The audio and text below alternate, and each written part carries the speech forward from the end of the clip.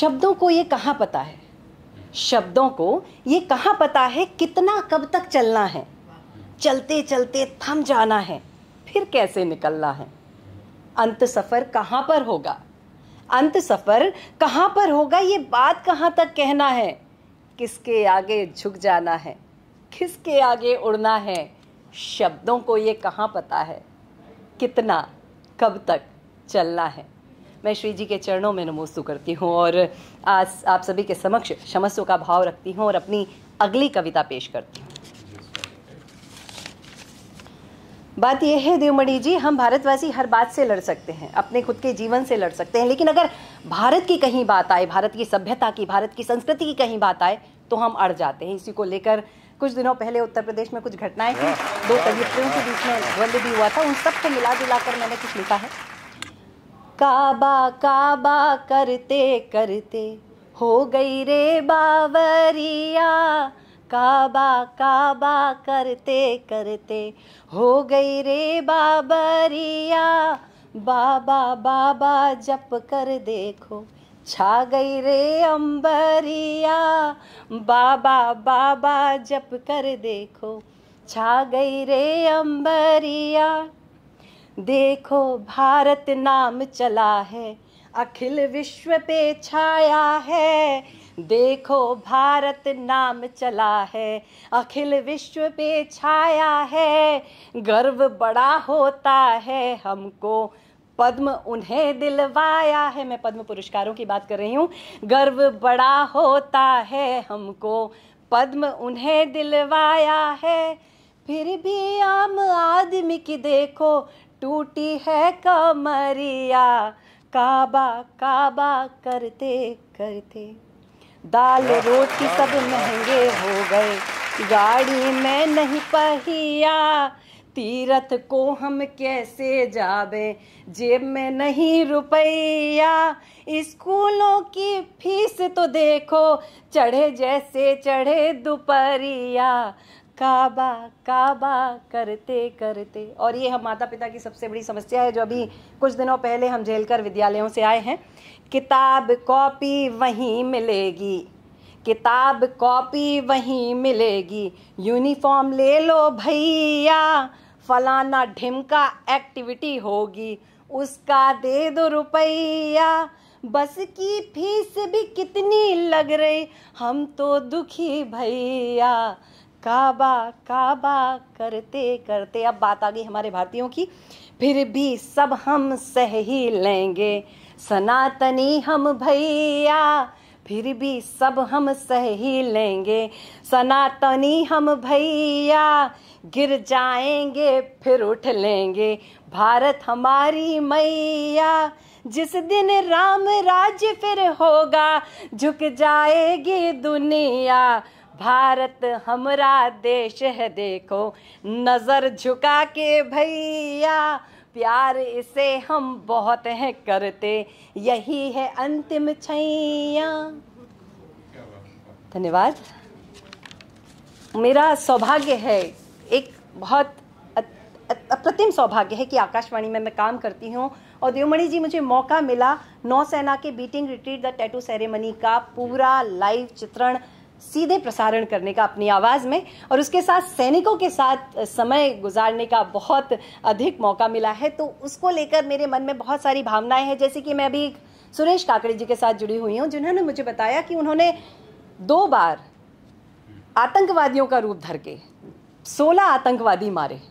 और लगातार 10-10 दिनों तक वो इसी काम में लगे रहे। वासव राज करके एक हमारे सैनिक हैं, जिन्होंने अब तक 145 बम डिफ्यूज कर दिए। एक सैनिक जिसके पैर में गोली लग गई, वो अपनी टांग को काट देता है और काटने के बाद चढ़ जाता है और झंडा लहरा कर आता है। उस टांग को इसलिए काटता है क्योंकि अगर वो झंडा नहीं लहराएगा तो वो चोटी हमारे हाथ से चली जाएगी। एक अठारह साल का सैनिक जिसकी दाढ़ी भी नहीं होगी, वो हमारे लिए मर जाता है। और इस सब के पीछे हमारी भावनाएँ केवल ये हैं कि हम आपके प्रति कृतज्ञ हैं, भाई। और उसी को लेकर उनका परिवार इस समय क्या सोच रहा है जब वो सरहद पर खड़े हैं? चमकता है तुम्हारे नाम से भारत अमर मेरा। सैनिकों के लिए कह रही हूँ चमकता है तुम्हारे नाम से भारत अमर मेरा। धरती हो या अंबर हो समंदर में है घर तेरा। चमकता है तुम्हारे नाम से, भारत अमर मेरा। तुम्हारे कदमों की आहट से डर कर वो भागते हैं। तुम्हारे कदमों की आहट से डर कर वो भागते हैं। तुम ही हो भाई भी मेरे, तुम ही हो पुत्र भी मेरा। तुम ही हो भाई भी मेरे तुम ही हो, पुत्र भी मेरा। अब माँ क्या सोचती मेरे बेटे, तू जो गया, तू मुड़कर भी नहीं देखा। मेरे बेटे, तू जो गया तो मुड़कर भी नहीं देखा। गर्व है मुझको ए बेटे कि तुमने कुछ नहीं देखा। गर्व है मुझको ए बेटे कि तुमने कुछ नहीं देखा। नहीं है दुख मुझे कोई कोई चिंता भी है नहीं। नहीं है दुख मुझे कोई, नहीं चिंता कोई भी है। कलेजा मुँह में आता है, कलेजा ही नहीं देखा। कलेजा मुँह में आता है, कलेजा ही नहीं देखा। अगर एक पत्नी इसी बात को कहेगी तो वो कैसे कहेगी? घर की इन दीवारों पर तुम्हारा नाम लिखती हूँ। घर की इन दीवारों पर तुम्हारा नाम लिखती हूँ। बाहों को भी मैं खोजूं, तकिया गीला करती हूँ। बाहों को भी मैं खोजूं, तकिया गीला करती हूँ। तुम्हारे नाम की मेहंदी मैं अक्सर ही लगाती हूँ। तुम्हारे नाम की मेहंदी मैं अक्सर ही लगाती हूँ। कसम सिंदूर की तुमको, तुम्हें कुछ हो नहीं सकता। कसम सिंदूर की तुमको तुम्हें कुछ हो नहीं सकता। अंतिम बंद पढ़ रही हूँ आज की कवि मंच का, जब तक मैं मंच ले रही हूँ। अगर अच्छा लगे तो सराह दीजिएगा। ये बिटिया है, जो अपने पिता के लिए कह रही है। मेरी गुड़िया तो रोती है कि गुड्डा है नहीं उसका। मेरी गुड़िया तो रोती है कि गुड्डा है नहीं उसका। अकेले रह भी जाती हूँ कोई गम भी नहीं उसका।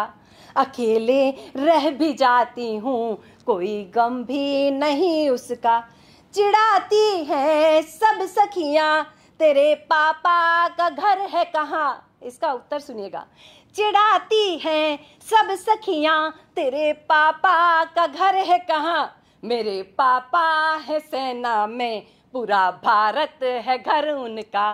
मेरे पापा है सेना में, पूरा भारत है घर उनका। चमकता है तुम्हारे नाम से, भारत अमर मेरा। धरती हो या अंबर हो, समंदर में है घर तेरा। मैं भारत माता को प्रणाम करती हूँ, जल थल नभ के सभी सैनिकों को चरण वंदना करके कोटि कोटि प्रणाम करती हूँ।